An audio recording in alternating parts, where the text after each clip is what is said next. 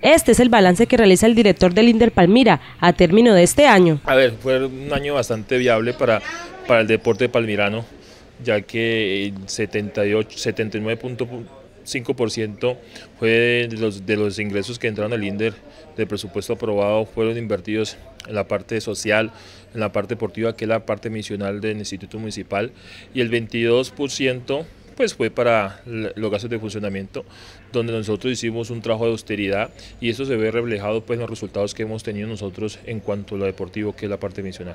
¿Y a nivel personal? El deber cumplido, eh, tenemos un grupo interdisciplinario con la gente del Instituto Municipal del Deporte y lo más importante, esa satisfacción interna de saber de que, de que construimos tejido social, ya que nuestros deportistas, el 75% de nuestros deportistas son de la Comuna 1 y cuando fuimos a estos juegos le dimos un bienestar muy importante a nuestros deportistas y lo más importante, ¿no?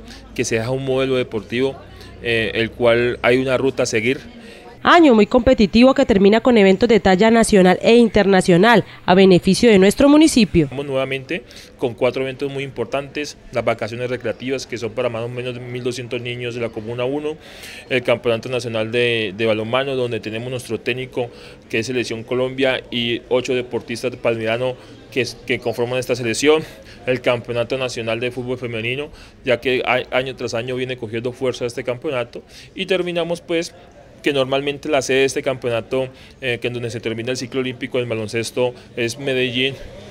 Lógicamente, pues nos hemos eh, prácticamente trasladado hacia nuestro municipio con más de 60 equipos. La verdad, también el campeonato nacional interclubes de baloncesto. En este momento tenemos ya confirmado más de 60 equipos eh, entre clubes, selecciones que van a visitar a nuestro municipio. Nuevamente el deporte eh, contribuye a la economía de nuestro municipio, donde vamos a tener más de 1.200 personas deambulando estos cinco días en nuestro municipio. Y lo más importante, ¿no? La cara que, que, que, damos hacia el exterior.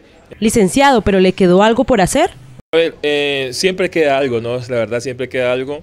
Desde ya inclusive dejamos la puerta abierta eh, porque lo del comité científico fue relevante y ustedes lo pudieron notar, donde nosotros sacamos un margen muy importante porque el deporte ciencia, el deporte tecnología, ya prácticamente estamos, el sábado nos reunimos con la gente del centro, eh, tenemos una videoconferencia con la gente del Centro de Alto Rendimiento de Miami. Quisiera eh, que fuera inaugurado el, el, comité científico que va a quedar en la parte baja de, del estadio pero por las obras no se pudo, no se pudo inaugurar. Pero bueno, ahí dejamos ese legado y aspiramos pues de que, que se siga con, con este programa.